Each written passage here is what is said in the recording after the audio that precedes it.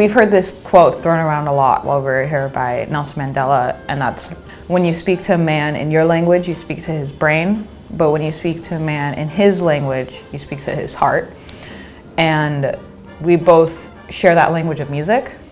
So when we were able to communicate that way, it really connected us. And it helped us to see eye to eye, you know, and, and see the humanity in what we're doing.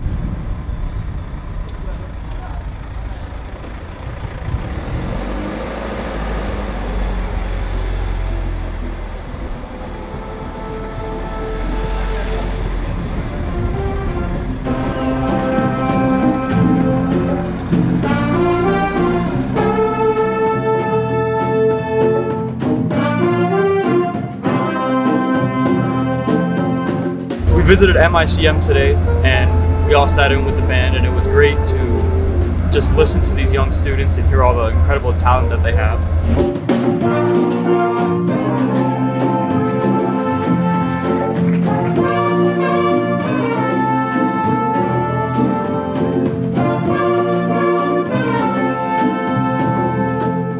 Connecting through music, playing with the rest of the musicians, I feel like one way we did it is blending with the rest of the section. I was listening to the people around me, the trumpet players, the trombone players, and I feel like all the different stuff going around behind us, the percussion, the rest of the rhythm section, all created an interesting conversation in music.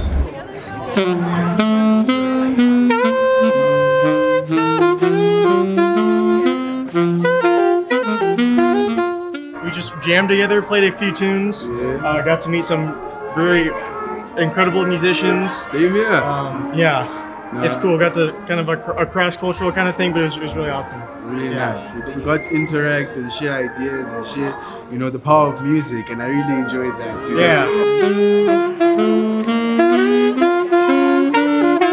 The power of music is you being able to express yourself through your instrument um, and with other musicians. And you know, when the power meets, it, it, it's uncontrollable. You know, the power that I felt in there today was truly remarkable, and I truly enjoyed exchanging some beautiful melodies. You know, yeah. It was really inspiring, honestly. Like seeing all these younger kids like really engage with the music was really inspiring, and especially the um, little kid, Siana.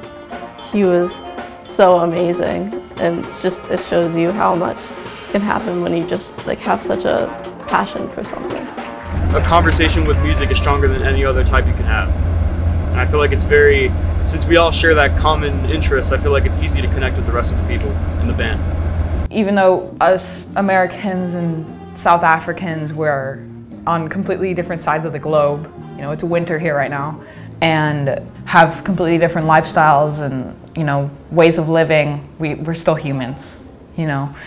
So it was really beautiful to experience that.